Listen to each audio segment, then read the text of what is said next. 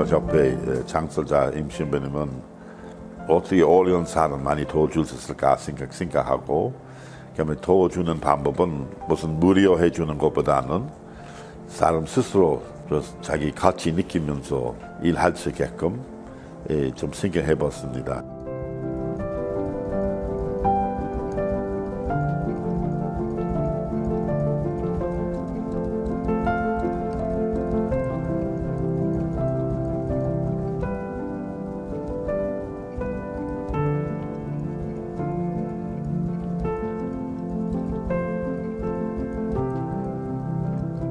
일반한 사람한테 돼지만이 나눠줘가지고 또 쌀이 아주 싸게 해주고 처음에 잘 됐다가 갑자기 돼지 쌀 빠지기 시작해가지고 지금 무슨 평토로 왔다고 생각했지만 사람들 배고파서 돼지한테 좋은 옥수수나 주는 것도 아깝다고 자기도 이거 옥수수 빼어가지고 먹고 그 신부님이 이 계속 이게 견딜 못할 것 같은데 돼지 사람한테 빼어가지고 이게 이스돈 목장 그 땅을 옮겼었어요. 그때 양동 사업 시작하셨습니다.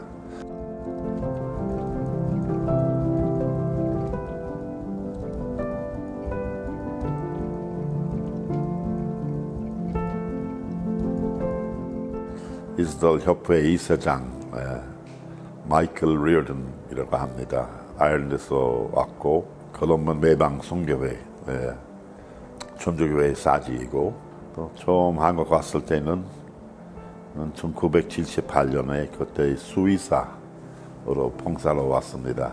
2년 반 일했다가 아일랜드 가서 신학교 갔다가 86년으로 사지로 들어왔고 한 그는 15, 16년 전에 이제 제주도 발견됐습니다.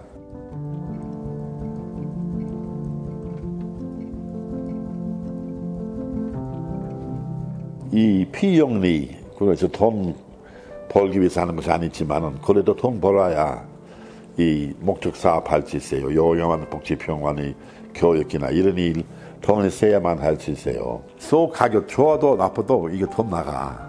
이 피역하고 이 소만 하면은 심은 불안하고 혹시 안 될까봐 무슨 소 안 될 때 말 잘 되면 좋고 소 잘하는데 요즘 코로나 때문에 우리 경마장 얼마 전에 닫아가지고 싼 것만 들어오고 마주도 말 안 사고 이런 말만 했으면 아주 힘들었을 거야.